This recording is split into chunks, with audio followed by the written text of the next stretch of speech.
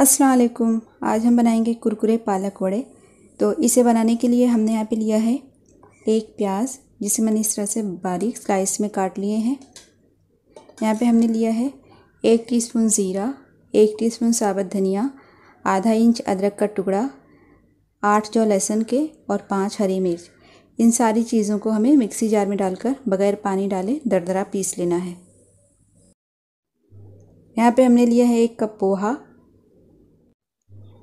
105 ग्राम हमने लिया है पालक। तो इसे साफ़ कर कर धोकर काटने के बाद मैंने इसे मेजर किया है तो ये 105 ग्राम है। तो पोहा को हम सबसे पहले अच्छे से धो लेते हैं। तो यहाँ पे मैंने पोहा को अच्छे से धो लिया है और इसमें दो से तीन टेबल स्पून पानी मैंने छोड़ दिया है। इसी तरह हम दस मिनट इसे छोड़ देते हैं ताकि पोहा अच्छे से सॉफ्ट हो जाए। अब इसे हम पीस लेते हैं। तो यहाँ पे मैंने इसे दरदरा पीस लिया है इस तरह से। बग़ैर पानी डाले मैंने इसे पीसा है। अब एक मिक्सिंग बाउल लेंगे। इसके अंदर हम पोहा डाल देंगे।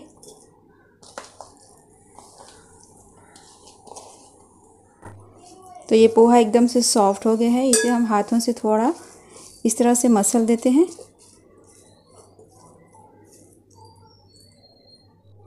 तो यहाँ पे मैंने इसे अच्छे से मसल दिया है। ये बिल्कुल आटे के डो के जैसा हो गया है।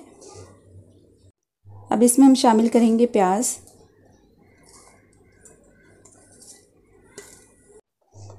पालक डालेंगे।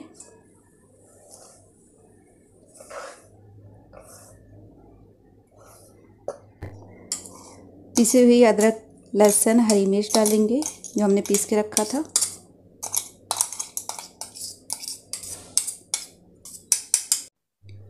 एक कप डालेंगे बेसन। वन फोर टी स्पून हींग, हाफ़ टी स्पून डालेंगे हल्दी पाउडर, हाफ़ टी स्पून लाल मिर्च पाउडर, एक टीस्पून के बराबर नमक, या आप अपने टेस्ट के हिसाब से कम ज़्यादा कर सकते हो। एक टेबल स्पून डालेंगे तेल। अब इन सारी चीज़ों को अच्छे से मिक्स कर लेते हैं।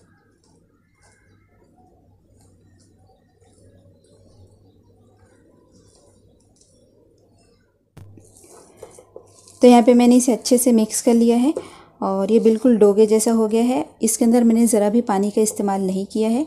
जो पालक और पोहे की जो नमी थी उसी में ये अच्छे से मिक्स हो गया है।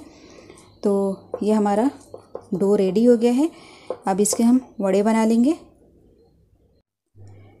तो वड़ा बनाने के लिए हाथों को पहले तेल से थोड़ा सा ग्रीस कर लें। उसके बाद एक छोटा सा पोर्शन लें और इस तरह से हम इसके वड़े बना लेंगे।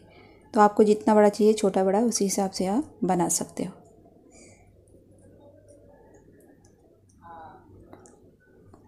इस तरह से। तो इसी तरह हम सारे बना लेते हैं।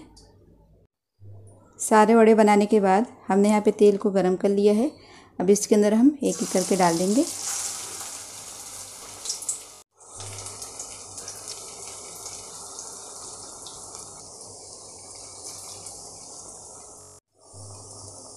तीस से चालीस सेकेंड तक हम इसे टच नहीं करेंगे।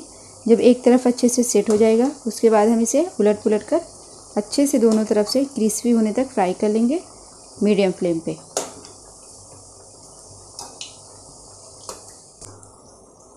तो यहाँ पे मैंने इसे उलट पुलट कर अच्छे से क्रिस्पी होने तक फ्राई कर लिया है। तो ये अभी तैयार हो चुका है।